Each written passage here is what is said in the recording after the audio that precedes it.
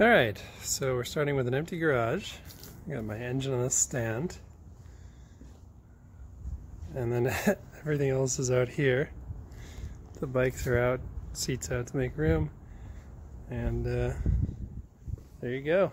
There, there's where we're starting. Um, it's got everything on it, uh, but I'm going to pull it all off and really get started with everything else. So right now I'm just trying to get in the garage, um, it's kind of hard. There's no brakes, just the handbrake in it right now. It's not mounted. But uh, yeah, it's gonna be fun. All right, so we've gone full go kart. Um, you can see the tube front now. Uh, tube front, cage, rear tube was all done by Grimm, Alex Grimm at Siege Chassis Works. Um, probably seen him on the Hoonigans or whatever. But uh, yeah, I wanted to go pretty basic, still front radiator. Um, I think there's so much distance between the front bumper and the radiator that it's like not even an issue to damage it. Um, plus, the weight balance of this car is actually questionably rear because of the IRS now and then aluminum block. So um, I wasn't really worried about the weight issue either. Um, See, it's pretty basic setup. I didn't want to do anything crazy with the cage.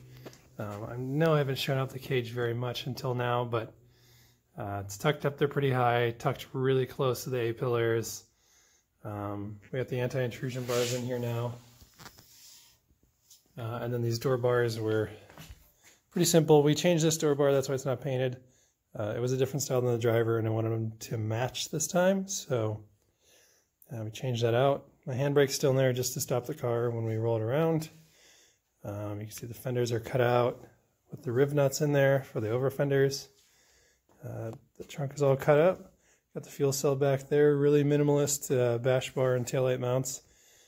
Me and Grimm have a very similar style of what we like to do. Very, very minimal, very easy to fix, very light, uh, not gaudy, not intrusive or anything. So really happy with the way this came out. Uh, you can see there's no windows, no pillar covers on it right now. Took the glass out. We're doing a polycarb rear window and a polycarb side windows.